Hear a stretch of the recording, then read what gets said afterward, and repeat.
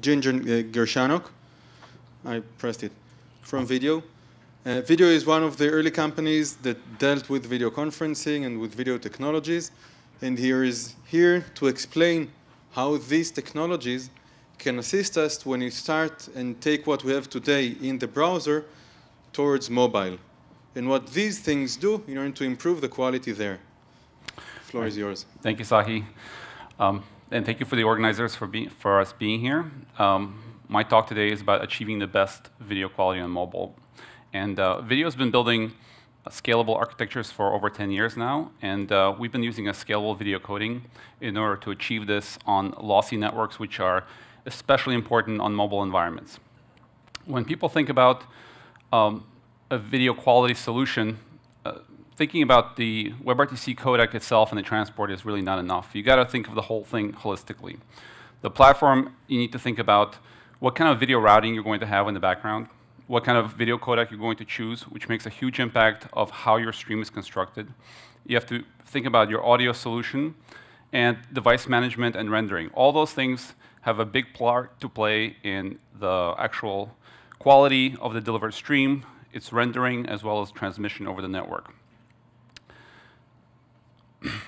So with mobile, when we were building our video I.O. service, we had to solve all these problems on our users' behalf. This is the same problems that uh, WebRTC experiences, and um, the, most of the issues are that the mobile is the worst case scenario for most of your endpoints. Mobile has fluctuating bandwidth, it has packet loss and jitter, it has varying device capabilities. You have Retina devices, you have devices that have very low CPU and performance, and you have to make decisions about trade-off between bandwidth and battery life. Most of these devices, um, you, you know, if you ever played with some of the other video solutions, you'll notice that the device might get too hot, and it doesn't provide a great experience if your device only lasts for 20 minutes in a video conference. Apart from all of that, you also have to deliver very low latency throughout your entire network. Real-time communications is a special challenge over any other type of media because of the low latency problem. You have to deliver a packet end-to-end -end within 250 milliseconds time frame. And that's a huge burden, uh, and requires very specific choices about how you construct your stream and how you uh, create uh, your video solution. so to describe why we need scalability, I'm going to talk about some primers of video coding. What is, a, what is a video stream? A video stream is essentially a series of video frames sent one after the other. In a very simplistic way you can think about it is if you were to transfer a series of JPEGs at 30 times a second. Now, while that would deliver you a great quality, you certainly wouldn't be able to do it in the bandwidth that you have. And uh, in order to uh, make this process fit into the bit stream, what happens is we have to create a dependency structure. This dependency structure starts off with a main frame that you encode, and then you send differentials. To make it simple, we break this down into five different frames. In this example, we start off with a key frame 1. That's a very big frame to send and transmit over a wireless network. Once that's sent, we can start sending little differentials piece by piece over to the other endpoint. But this creates a huge problem.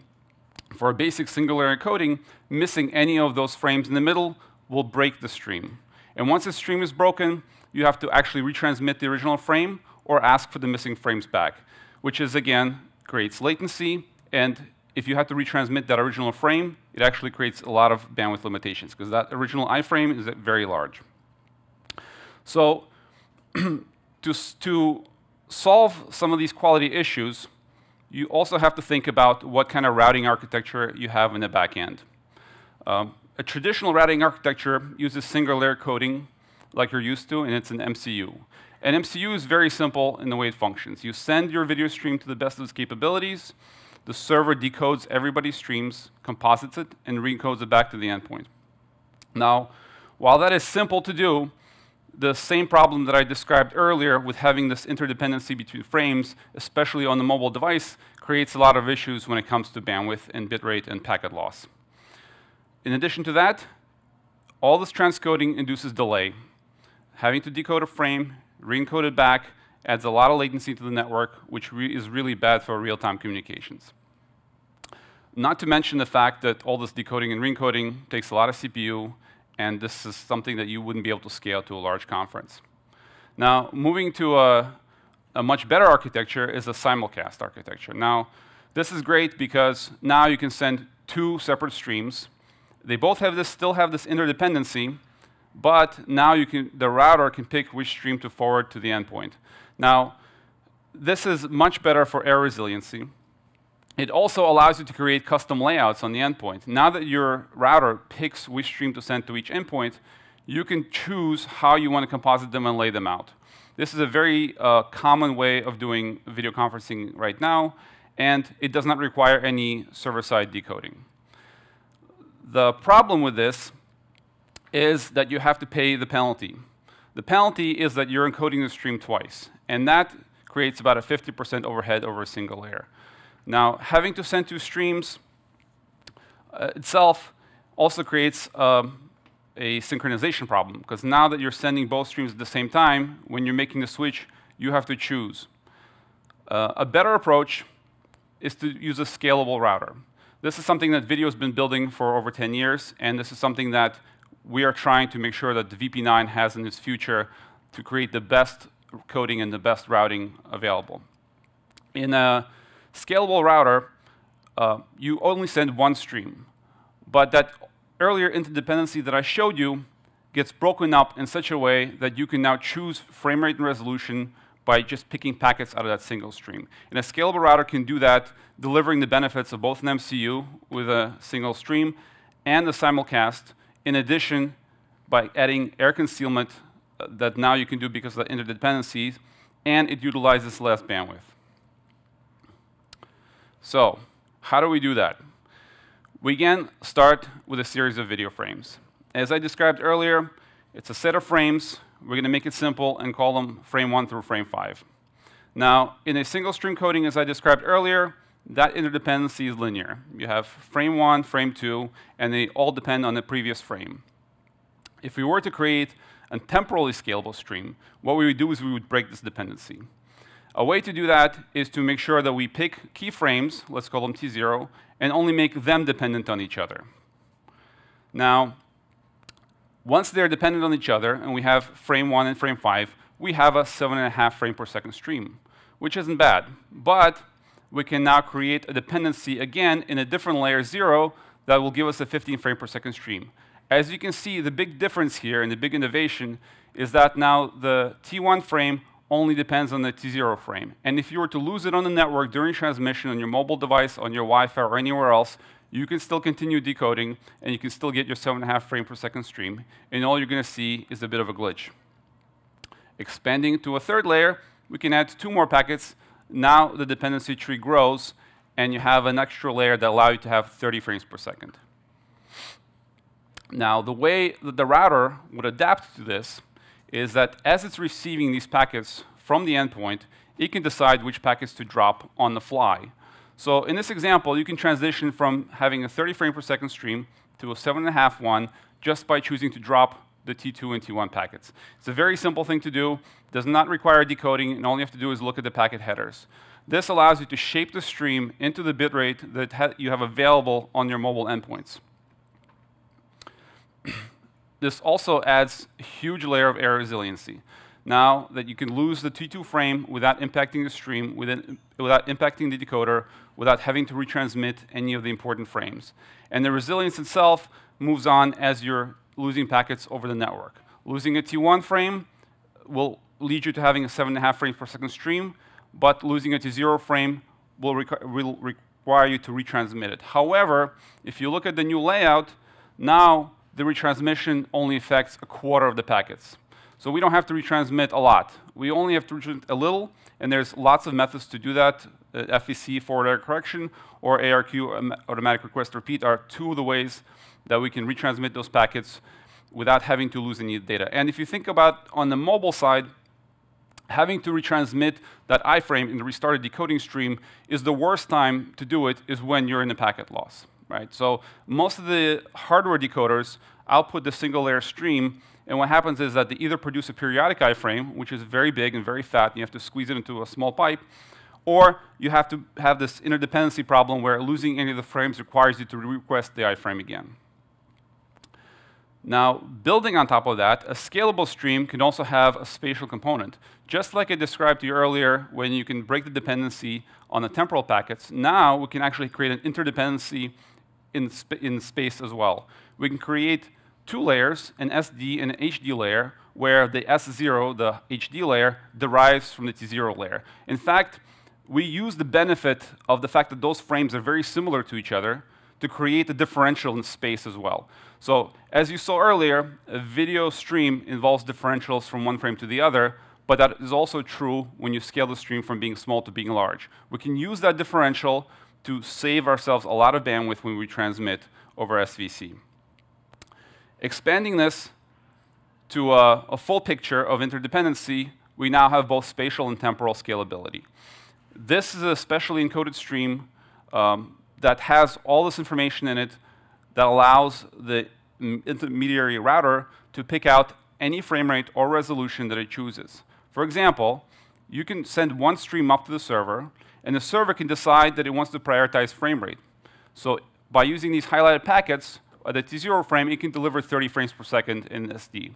But if I'd like to have resolution instead, I can create a packet stream that has 720p and 15. And all of this can happen dynamically and on the fly. Now, how do we solve most of our video challenges? Well, the bit stream itself becomes shapeable, right? So a fluctuating network on your mobile device as you walk away and your signal strength drops can be shaped dynamically without having to do any of the other extra retransmissions. There's not much cost there. The loss and jitter can be concealed, and there's a lot less to retransmit. The device capabilities themselves, this allows you to have a, a, priority of what you want to do in terms of the, the way you want to view the video. If you're on a Retina device, you might want to have a high quality image. If you're on a small device with low battery capability, you want to slow down the frame rate and make sure you don't receive anything. None of this will affect the originating source. So if you have a lot of people in the same conference, you do not want to use the lowest common denominator. You, in fact, want to send the best thing you can up to the server and let the server decide for each endpoint what best to deliver. You can choose battery life trade-off versus bitrate. As you determine that your battery life is depleting, you might want to say, hey, don't send me uh, higher spatial layers, or don't send me any more temporal layers. And you can reserve the battery and still have a conference just at a lower frame rate. And of course, this allows you to have very low latency because the server no longer transcodes any of the media data. In fact, all you're dealing with is a penalty of a hop. Um, this low delay also helps in retransmissions because when you're transmitting less packets, the video, if you had to ever freeze the video, it would be for a very short amount of time just to retransmit those packets, and that will significantly improve the delay instead of having to wait for the entire frame to arrive before you can continue decoding.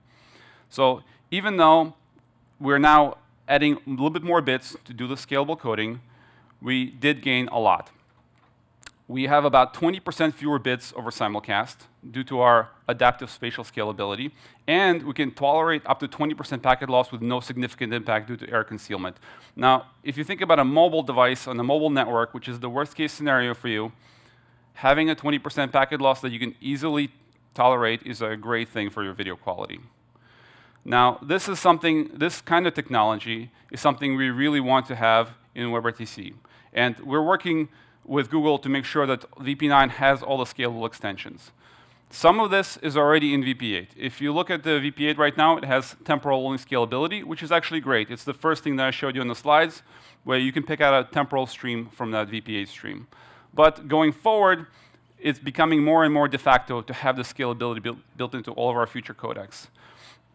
Both in VP9 and in Open Media Alliance AV1, where the temporal is mandatory and the spatial is under review. The error resilience that I've described earlier is also available in VP8, H.264 SVC, and all the future codecs like H.265 and VP9.